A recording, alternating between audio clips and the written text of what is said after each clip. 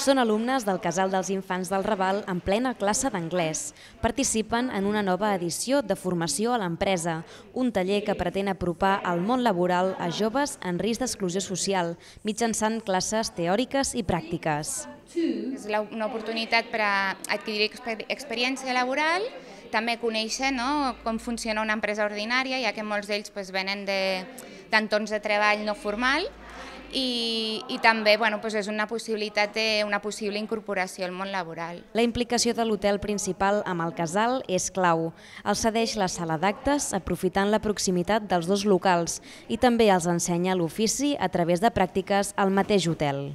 La verdad es que no me imaginaba siendo camarera de pisos, pero ahora, ahora me imagino en un futuro y trabajando de esto. No creí que me iba a gustar tanto. Jo tinc una,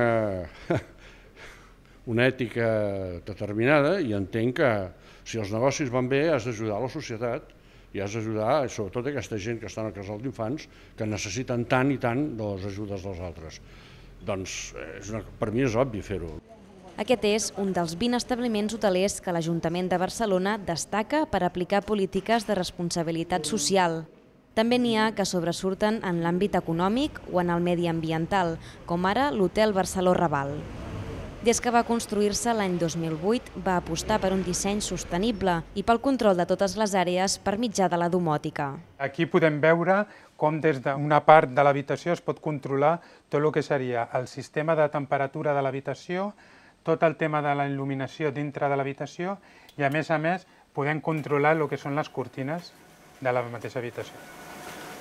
Comparat amb altres hotels que tenim a la companyia, degut a tota aquesta maquinària de nova tecnologia i, a més a més, tot el sistema de gestió dels recursos, fa que eh, percentualment i en nivells de, de factura directament de la llum es nota molt l'estalvi energètic dintre de lo que és tot l'edifici. No? Amb les plaques solars s'aconsegueix bona part de l'energia necessària i gràcies a la malla metàl·lica de la façana es protegeix l'edifici dels rajos solars i s'aconsegueix així una temperatura òptima a l'interior.